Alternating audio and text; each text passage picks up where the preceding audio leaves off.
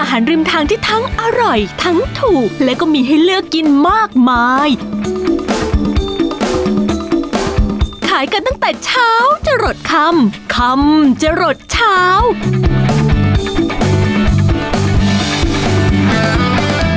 สีสันริมทางเหล่านี้ไม่ได้มีดีแค่ความอร่อย แต่ยังมีเรื่องราวการต่อสู้และอุปสรรคนานับประการ กว่าจะประสบความสำเร็จมาเป็น เชฟข้างถนน อย่างในทุกวันนี้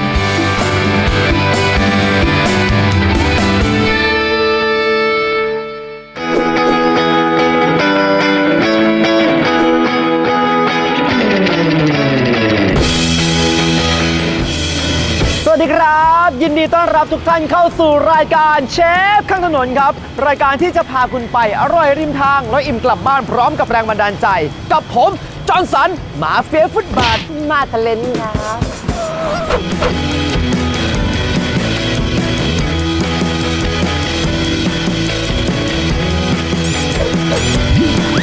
แต่คุณผู้ชมไม่ต้องตกใจไปนะครับผมมาเฟียอย่างผมเนี่ยไม่ได้จะไปรีดไถค่าคุ้มครองจากใครนะครับ แต่ว่าหน้าที่ของผมก็คือ จะไปตามถนนหนทางตามตรอกซอกซอยซอกเล็กซอกน้อยต่างๆ เพื่อที่จะตามหาร้านเด่น ร้านดังร้านอร่อยนะครับผมที่มีเรื่องราวนะครับผมการต่อสู้ยืนหยัดกว่าพวกเขาจะสำเร็จได้หนังเช่นทุกวันนี้เขาต้องผ่านอะไรมาบ้างครับ รายการของเรานะครับอยากจะเป็นแรงบันดาลใจ ให้กับคนที่กำลังเหนื่อยกำลังท้อหรือว่ากำลังสิ้นหวังนะฮะในการทำมาหากิน ได้เห็นว่านะครับคนธรรมดาธรรมดาอย่างพ่อค้าแม่ค้าที่เขาขายของอยู่ข้างถนนเนี่ยกว่าเขาจะมีทุกวันนี้เขาต้องผ่านอุปสรรคมาเยอะแยะมากมาย พวกเขาประสบความสำเร็จได้ คุณก็ทำได้เช่นกันครับ และเชฟข้างถนนของเราในวันนี้นะครับชีวิตของเธอนั้นเหมือนถูกฉุดลงจุดต่ำสุด แต่ว่าเธอนั้นก็สู้ สู้แบบไม่มีถอย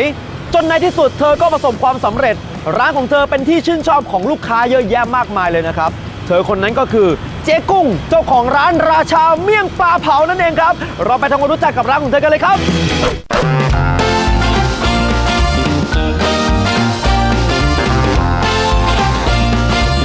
หอมของปลาเผาลอยมาเตะจมูกแต่ไกลเลยละค่ะ พอเดินตามกลิ่นไปดูใกล้ๆ ก็ต้องร้าง เอาเหกับปลาทับทิมตัวใหญ่เนื้อแน่น ที่ผ่านการคัดสรรจากเจ้าของร้านทุกตัวต้องสดอร่อย เห็นเป็นร้านข้างถนนแบบนี้แต่เขาควบคุม QC นะคะคุณคะวันหนึ่งขายปลาทับทิมได้กว่า 300 ตัว เผาแล้วก็เผาอีก เผากันรัวๆเสิร์ฟกันเพลินๆถึงโต๊ะเลยล่ะค่ะ ให้ลูกค้ากินคู่กับผักสดสารพัดชนิด และก็เส้นหมี่ขาวที่เหนียวนุ่ม ราดด้วยน้ำจิ้มรสเด็ดสูตรของทางร้านทำกันสดๆ ใหม่ๆ แบบวันต่อวันกันเลยทีเดียว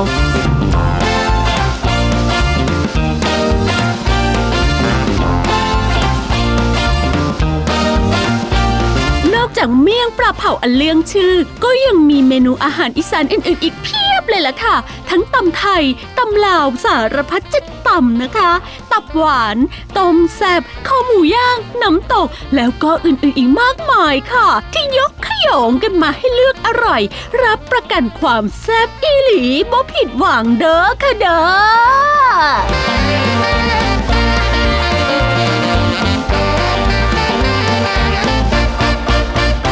ค้าประจำมามากมายทั้งกลุ่มวัยรุ่นแล้วก็วัยทำงาน กลายเป็นร้านดังย่านหลังราม จนต้องขยายสาขา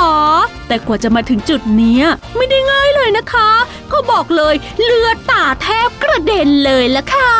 ช่วงหน้าค่ะเจ๊กุ้งจะมาเปิดใจเล่าให้พวกเราฟังสักครู่เดียวนะคะ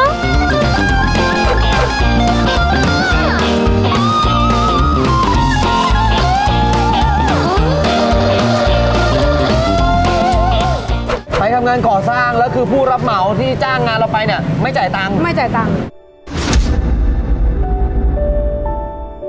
มันมันขาดตลอดมันไม่ว่าจะมีมันขาดอยู่ตลอด พอจะได้ครับ เขาก็โกง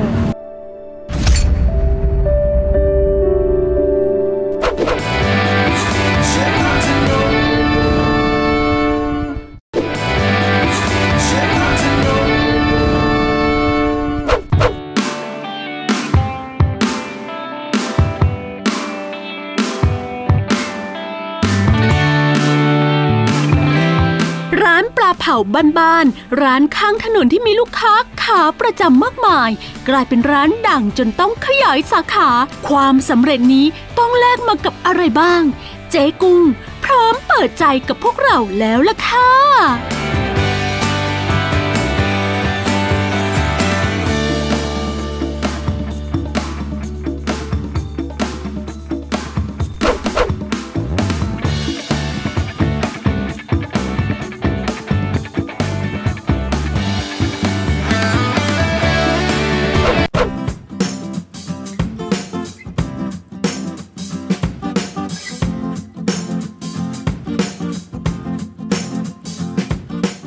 วัสดีครับเจ๊กุ้งครัสบวัสดีค่ะ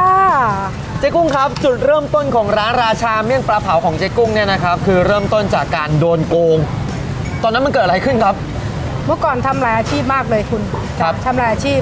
เดิมเลยอะคือทำงานก่อสร้างครับค่ะมันเหนื่อยมันทำไปแล้วมันก็ไม่ได้เงินมันโดนโกงโดนโกงยังไงครับ อย่างเราไปทำงานอ่ใช้แรงงานอย่างนี้ยใช่นะครับค่ะทำงานใช่ก่อสร้างทำไปแล้วอ่าผู้รับเหมาไม่จ่ายตังค์ไม่ให้ตังค์เราเลยแล้วเราอยู่ยังไงตอนนั้นอะก็อ่า เก็บขยะ เก็บขยะหมายถึงว่าเก็บเก็บขวดพลาสติกเก็บอะไรก็ได้ที่แบครับบว่าเขาเอามาทิ้ง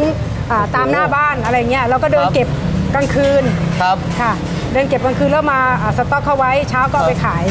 ครับผม แล้วอย่างช่วงตอนนั้นตอนที่เราทำอาชีพอยู่แบบนั้นน่ะเรามีหนี้สินบ้างไหมครับหนี่สินเยอะมากพลุงพลัง แฟนก็ไม่สบายครับนะแฟนไม่สบายแล้วก็เราก็ยังมีลูกอ่อนอือฮึเงินก็ไม่มีครับ มันมัน ขาดตลอดมันไม่ว่าจะมีมันขาดอยู่ตลอด อ่าฮะ พอจะได้ครับเขาก็โกงจะได้เขาก็โกงใช่แล้วเจ๊เริ่มมาขายเมี่ยงปลาเผาได้ยังไงครับ เอ่อก่อนหน้านี้ก็คือเอ่อหลังจากเราหยุดการเป็นเซลล์แล้คว รับ แล้วก็มาขายเป็นหอยทอดผัดไทย อืม ขายอยู่วันชนวันอยู่วันชนวันพอสุดท้ายแล้วเราก็เลยไปขอร้องพี่คนที่เอ่อเขาออกแบบเอ่อรถปลาเผาเนี่ยให้ทำให้หน่อย บอกหนูขอร้องหนูมีเงินแค่หมื่นกว่าบาทเนี่ยพี่สามารถทำให้หนูได้ไหมปกติคือ ถ้าเขารับงานเขาจะรับเป็นประมาณ 3 5 0 0 0 4 0 0 0ครับ0แต่ว่าหนูมีเงินอยู่แค่นี้พี่หนูขอร้องอือฮึพี่เขาก็เลยทำรถเมี่ยงปลาเผาให้ ครับผมแล้วทำไมถึงมีความคิดที่มาทำเป็นเมี่ยงปลาเผาแล้วครับ เดิมเป็นคนชอบทานปลามากอืมค่ะแต่ด้วยความที่ชอบกินเท่านั้นเองอะฮะเจ๊ไม่ได้มีความรู้เกี่ยวกับเรื่องการทำเลย เจ๊ไม่กลัวบ้างเหรอครับอ่าทำที่แรกก็ใจหวั่นๆอยู่ เพราะว่าครับเดิมเลยเราเป็นคนชอบทานใช่ไหมคะครับเราก็หวั่นว่าเอ๊ะใครเขาจะชอบกินเหมือนเราหรือเปล่า แต่ใจหนึงก็คิดว่าอาหารครับเพื่อสุขภาพอะมีใครบ้างที่จะไม่ชอบอือฮึก็คือตัดสินใจเลยด้วยสูตรของเรานี่เองอะถูทั้กต้องงๆที่ค่ะรู้ รู้ก็ไม่รู้ว่าคนที่ทานไปจะชื่นชอบหรือเปล่าใช่ไหมครับใช่ค่ะผมใช่แล้วเป็นไงครับผมขายได้ไหมครับช่วงแรกผลตอบรับดีมาก ช่วงเข้าระยะเข้ามาอยู่ในกรุงเทพเนี่ยวันแรกอะเจ๊ขายปลาได้ทั้งหมด 60 ตัว ขายไม่เกินชั่วโมงครึ่งหมด โอ้โห แล้วอย่างเงินทุนล่ะครับหามาจากไหนครับตอนแรก เงินทุนที่แรกไม่มีเลยหลังจากขายหอยทอดผัดไทยแล้วไม่มีอ่าฮะเอาเงินที่ว่าอ่าหมื่นกว่าบาทเนี่ยไปให้ค่ารถเขาแล้ว แต่ไม่มีเงินเลยอ๋อก็เลยแบบว่าถามบอกแม่ แม่หนูไม่มีเงินเลยนะตอนเนี้ยหนูจะทำยังไงดีหนู ไปต่อไม่ได้แล้ว แม่ก็บอคกรับไม่เป็นไร เงินนาเราก็ไม่ได้ทำแล้ว พ่อก็เสียแล้วงั้นแม่ขายรถไถเพื่อที่จะครับอ่าต่อยอดให้เรา เพื่อที่เราจะเดินหน้าไปได้ เป็นไงบ้างครับผมช่วงแรกช่วงแรกคือผลตอบรับดีมากอืมดีมากมาย แต่พอเราขายวันแรกอะ เรากลัวกลัวใจว่าจะมีคนรู้จักเราไหมเนาะจะมีคนกินเป็นไหมครับจะเป็นจะกินได้เหมือนเราไหมอะไรครับประมาณนี้ แต่สรุปแล้วว่า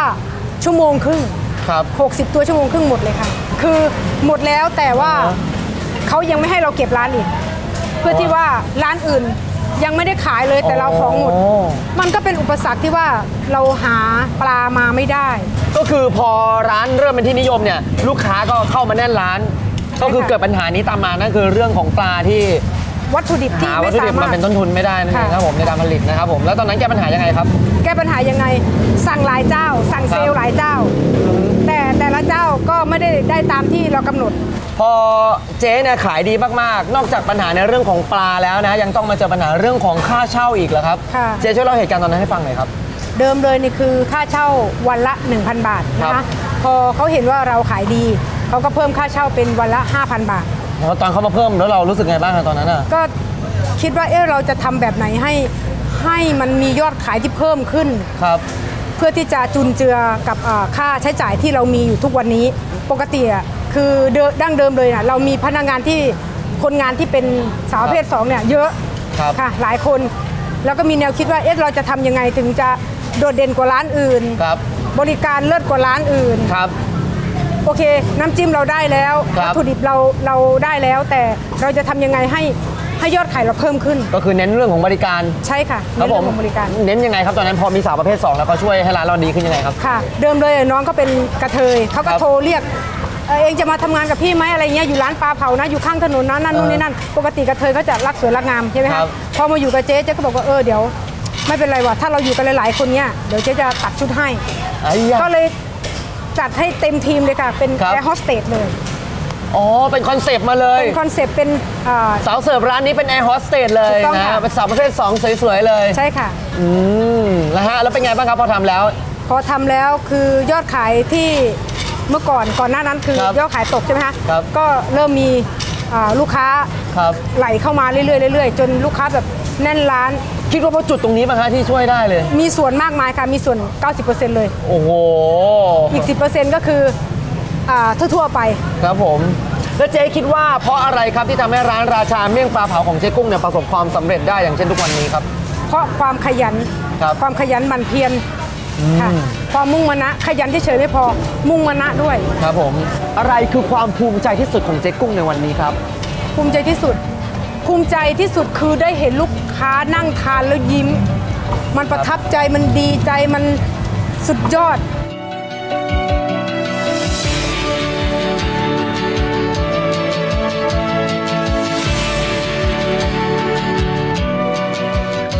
ถ้าเกิดว่าตอนนี้นะครับมีคนที่โดนโกงแล้วกำลังรู้สึกท้อแท้นะครับหาทางเดินหน้าต่อไปไม่ถูกเนี่ยเจ๊อยากจะให้คำแนะนำหรือว่าให้กำลังใจพวกเขาเหล่านั้นยังไงบ้างครับ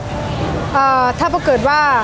ใครที่ประสบปัญหาอย่างที่เอ่อเจ้ากุ้งเจอมานะคะครับคุณอย่าเพิ่งท้อถอย ทุกอย่างมีทางแก้ทุกอย่างมีทางออกค่ะอือฮึอย่าลืมว่าคนข้างหลังเรา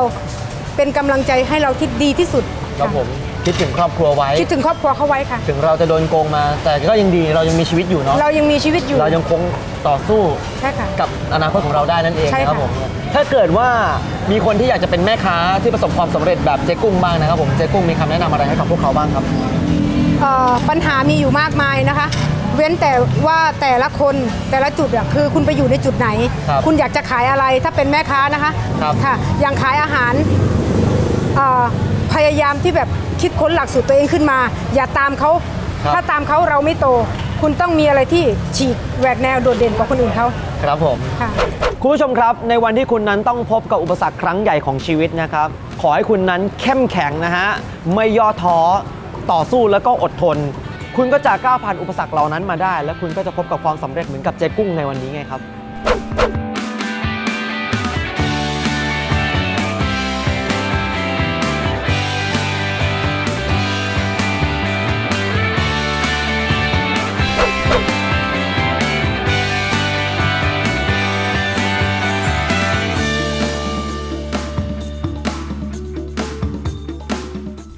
ยกับนักสู้ชีวิตอย่างเจ๊กุ้งไปแล้วนะคะ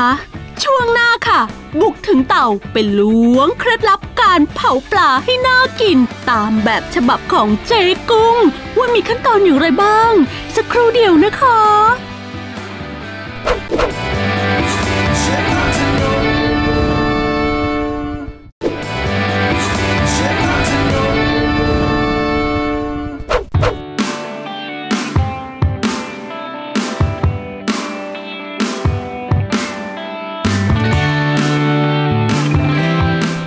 เผาวันละกว่า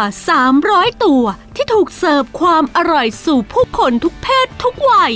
ความอร่อยที่ยากจะหาใครเรียนแบบ วันนี้เจ๊กุ้งจะมาบอกเทคนิคการทำปลาเผา ให้อร่อยถูกใจลูกค้า ตามมาเฟียฟุตบาทไปกันเลยนะคะ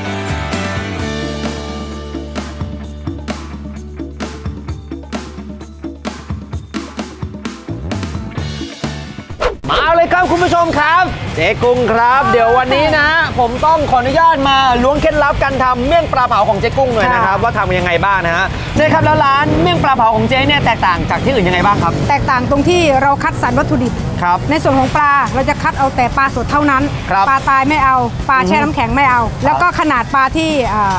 ได้ไซส์ เล็กก็ไม่ได้ ใหญ่เกินไปก็ไม่ได้ ต้องไซส์ประมาณไหนครับไซส์ประมาณนี้ไซส์ประมาณโลขีดเท่านั้นเอง เดี๋ยวเราไปดูปลากันที่เราเตรียมไว้เลยค่ะ อะมีเทคนิคในการเลือกยังไงบ้างครับปลา ปลาเราต้องใช้ปลาสดนะคะ นี่ปลาต้องใช้ปลาตัวขนาดนี้เนื้อครับถึงจะหวานนะคะ เนื้อหวานเนื้อแน่นดีคืออาถ้าเราใช้ของของดีดีมีคุณภาพเราราคาที่สาเรามารถขายอัพราคาได้ด้วย อืมแล้วก็อ่าในส่วนของปลาในนี้ก็คือจะเป็นอ่าโหระพากับตะไคร้อืมันจะช่วยเพิ่มความหอมครับ เวลาปลาที่ย่างสุกแล้วอะเปิดออกมันจะหอมมาก ครับผม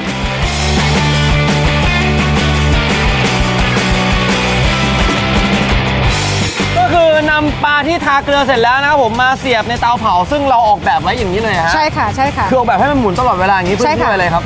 ย่างย่างครั้งละประมาณ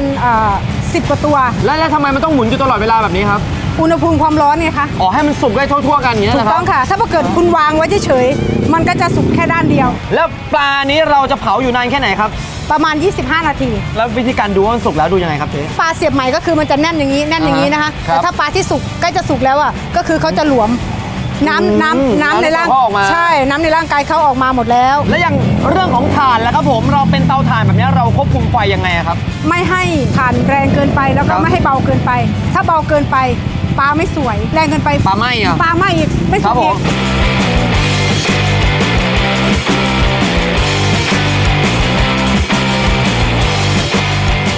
โอเคครับ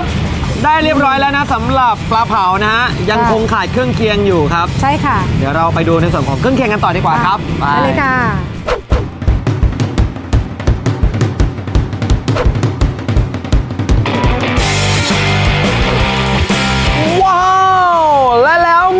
เมี่ยงปลาเผาตัวโตๆพร้อมน้ำจิ้มสูตรเด็ดก็อยู่ตรงหน้าแล้ว เราจัดกันเลยดีกว่าครับลุย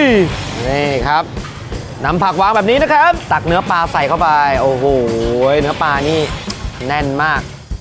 ใส่เส้นหมี่นะครับ แล้วอันนี้ก็จะมีเส้นขนมจีนด้วยก็แล้วแต่ความชื่นชอบของแต่ละคนนะครับ ว่าชอบแบบไหนนะฮะใส่ลงไป เดี๋ยวเราลองกันที่เป็นน้ำจิ้มซีฟู้ดก่อนแล้วกันครับ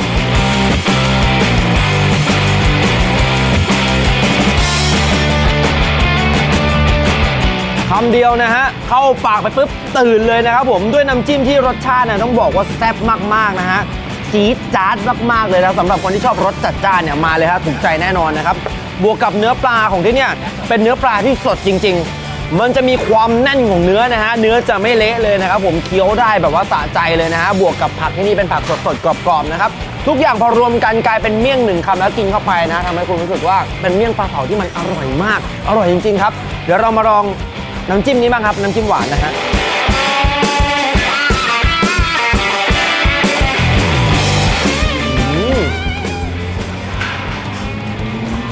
จะบอกว่าพอเปลี่ยนน้ำจิ้มเท่านั้นนะฮะชีวิตเปลี่ยนไปเลยครับ มันจะอีกฟิลหนึ่งเลยทันทีครับ ด้วยความหอมของถั่วลิสงนะครับ ผมบวกกับน้ำความหวานของน้ำจิ้มอันนี้นะครับ ผมจะให้อีกอรรถรสหนึ่งเลยทันทีครับ คนที่ชอบความที่มันหวานกลมกล่อม แล้วก็ บวกกับเนื้อปลาที่มันแน่นๆ แบบนี้นะฮะก็จะได้ฟิลที่มันแบบอร่อยไปอีกแบบหนึ่งฮะถือว่าเด็ดครับ เดี๋ยวเราลองดูแบบสูตรแบบผสมกันบ้างนะครับ นี่นิดนึงใส่ทั้งน้ำจิ้มซีฟู้ดและก็น้ำจิ้มหวานยิบอะอืมรสชาติของความจี๊ดจ๊าดของน้ำจิ้มซีฟู้ดนะฮะ ตัดมากับรสชาติของน้ำจิ้มหวานนะครับผมมันมีทั้งความจี๊ดจาดและก็ความหวานกลมกล่อมอยู่ในตัวครับเป็นอะไรที่ดีมากครับผมคุณผู้ชมฮะ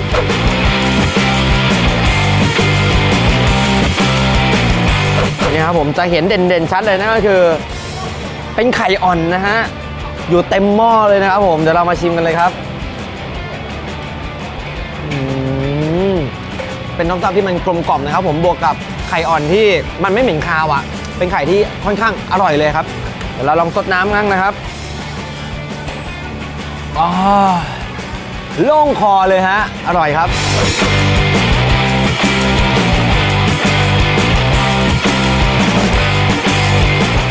ราดน้ำจิ้มมาให้เรียบร้อยแล้วนะครับ เนื้อกุ้งเขาหวานมากครับ แล้วน้ำจิ้มของเขาก็ รสชาติไม่ได้จี๊ดจ๊าดจนเกินไปนะครับผมเป็นกุ้งใช้น้ำปลาที่รสชาติรวมๆกันแล้ว ถือว่าดีถือว่าลงตัวครับ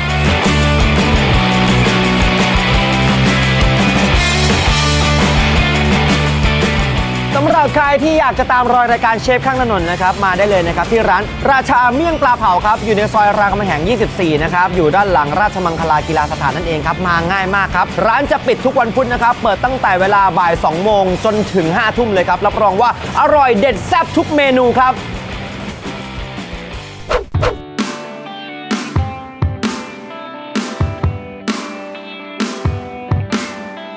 ด้วยแรงฮึด เฮือกสุดท้ายที่ลุกขึ้นจากจุดที่ต่ำสุด เลือกเดินบนเส้นทางที่ตัวเองชอบ ระหว่างทางยังต้องเจอกับปัญหาและอุปสรรค แต่เพื่อคนที่อยู่ข้างหลัง ทั้งครอบครัว ทั้งลูกน้อง เธอจึงไม่ย่อท้อ และต่อสู้มาจนถึงวันนี้ เจ๊กุ้ง เชฟข้างถนนของเราในวันนี้